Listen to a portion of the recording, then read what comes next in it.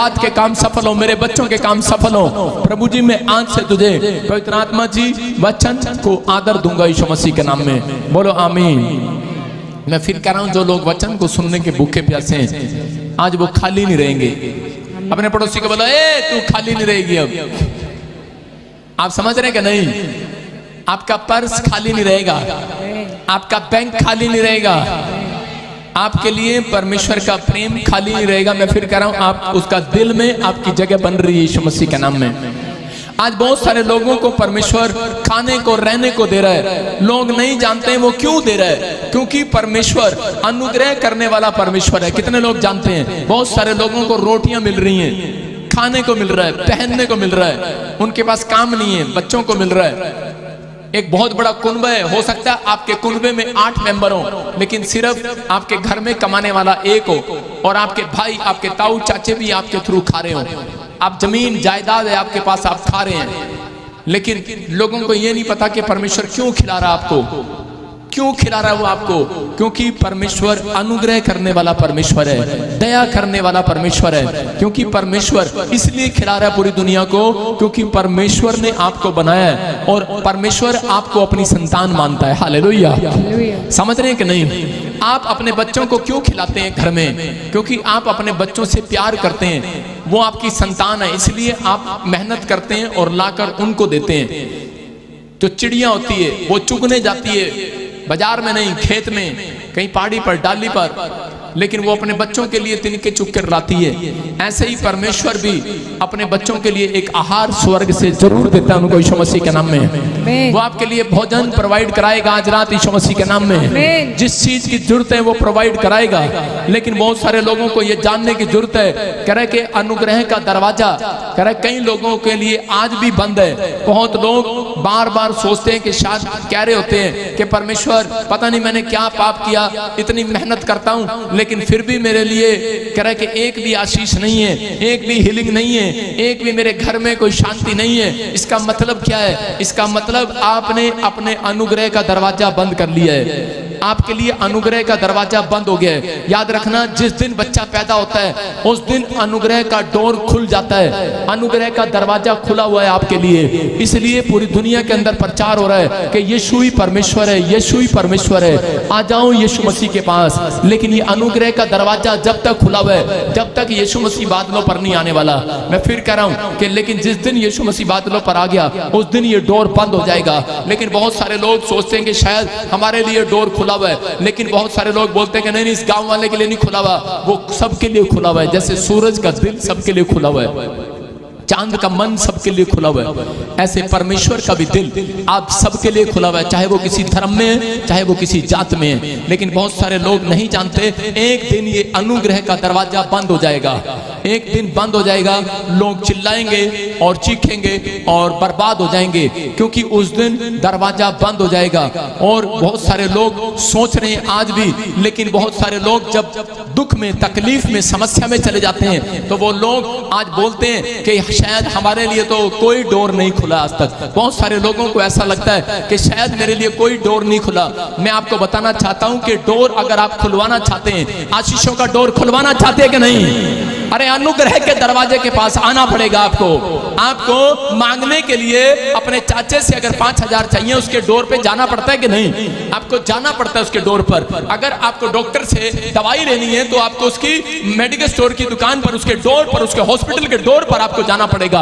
अगर आपको government job लेनी है तो आपको कह रहा ऑफ़िस के बाहर जाना पड़ेगा। आपको बैंक से पैसा लेना है तो बैंक के डोर पर आपको जाना पड़ेगा।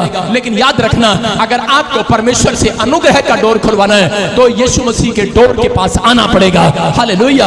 और योहन्ना की किताब बोलती है कि वो अनुग्रह का दरवाज़ा मैं हूँ, डोर मैं हूँ। डोर यीशु है। जितने यीशु के डोर पर हर संडे चर्च में आते हैं, आप परमेश्वर के डोर पर आए हो। याद रखना, ये डोर आपके लिए कभी बंद नहीं होगा खोल दिया आज मेरे परमेश्वर ने यीशु मसीह के नाम में। जो उसके कलाम को सुनने के लिए आए हैं उसके लिए ये डोर खुल गया आज रात यीशु मसीह के नाम में। जितने खुलवाना चाहते हैं अपने हाथों को उठाकर चिल्लाओ आज। मेरी लाइफ में ये डोर खुला रहे यीशु मसीह के नाम में। आप तैयार हो क्या नहीं?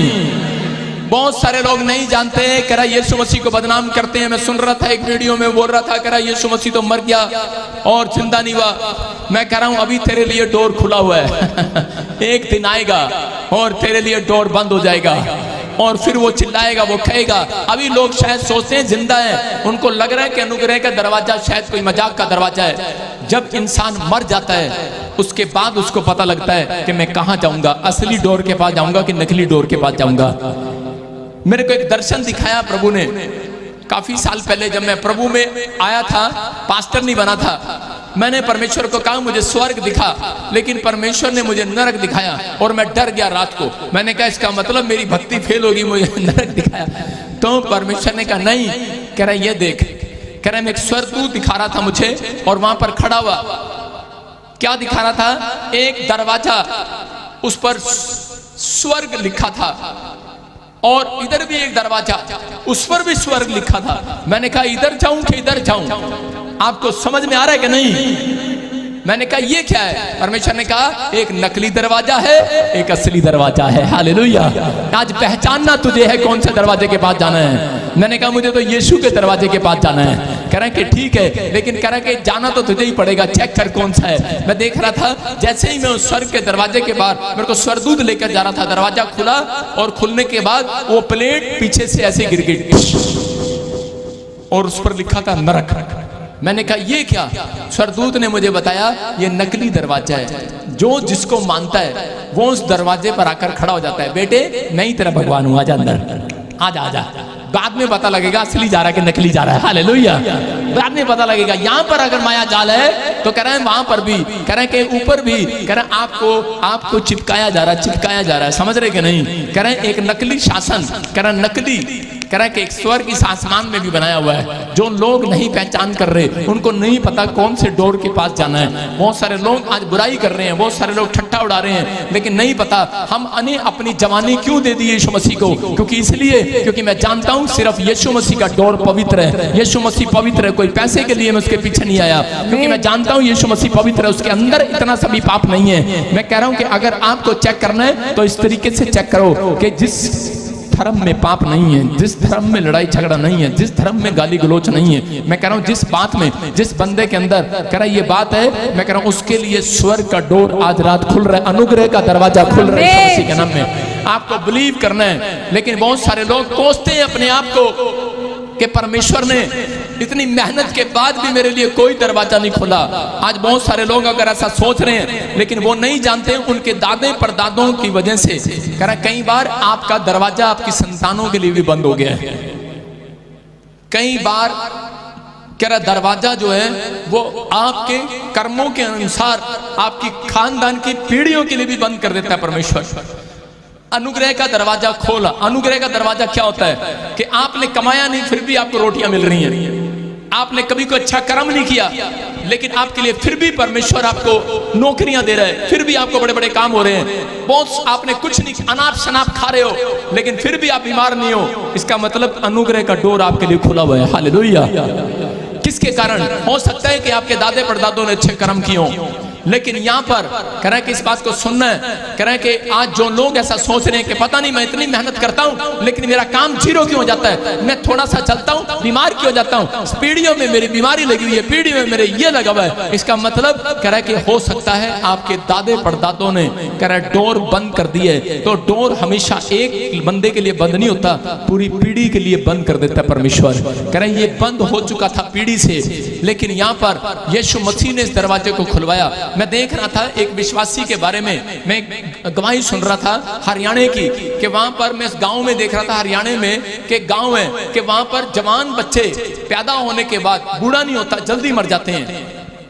और मैंने कहा, कह रहे, यहाँ पर इस गाँव में कोई बूढ़ा नहीं दिखाई देगा। मतलब अधिकतर बूढ़े उस गाँव में नहीं दिखाई देते, क्योंकि वो जल्दी मर जाते हैं।